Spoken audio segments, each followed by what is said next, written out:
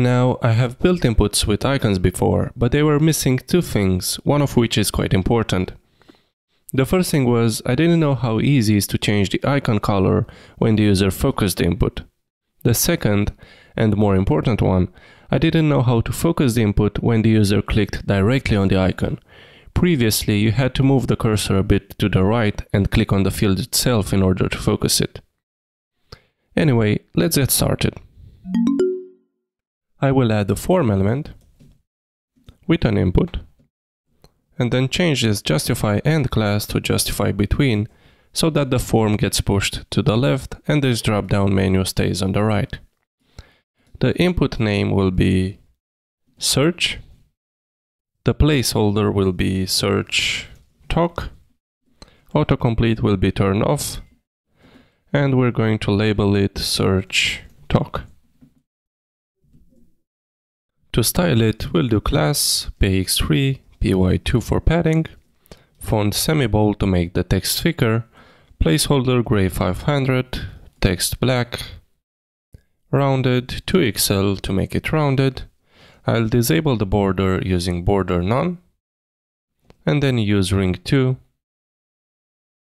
ring gray 300, and on focus we'll do focus ring gray 500 and focus ring 2. So this will be our basic input. For the icons, I mostly use Heroicons, which comes with an npm package you can install. So I'll do just that. Open the terminal and run npm install at heroicons slash vue. Now I can import the icon I want to use. In this case, I want import search icon from at heroicons slash vue slash outline and then register it and use it just like I'd use a regular component. So here I can just say search icon and give it a class with 5h5. In order to place the icon over the input element, we'll have to position it as an absolute element, but that also means we'll need a relative wrapper to keep it from floating around all over the screen. So let's wrap these two elements into a div and say class relative and then for the search icon we have with 5h5 absolute and then give it some margin left say ml3 now to center the icon vertically, we can use flex on the wrapper. So here we'll say flex item center. And since we are here, we can set the icon color to text gray 400. And the reason I'm doing this here, instead of doing directly on the icon, is because we can now use the focus within variant to set the color when a child element is focused, in our case when the input is focused. So we'll do focus within and then text gray 600.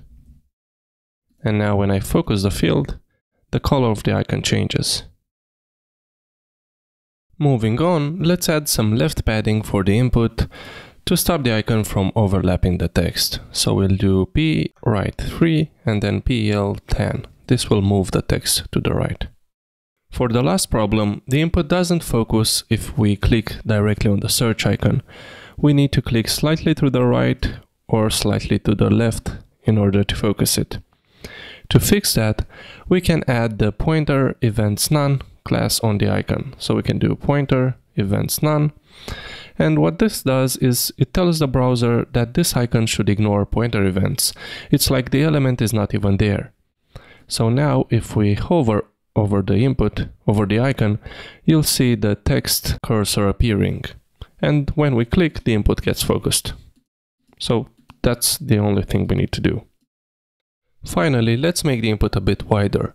We can do that by setting width full on the input element, width full on the form element, and then constrain it using max WMD. Also, let's add some spacing between the search input and the menu dropdown.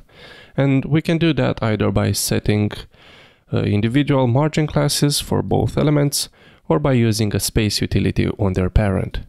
I prefer the latter, so we'll do space x6.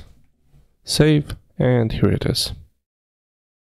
That was it. That's how you can build a proper input with icon using Tailwind CSS. If you enjoyed this video, don't forget to like it, subscribe, click the bell button, all that good stuff. Bye!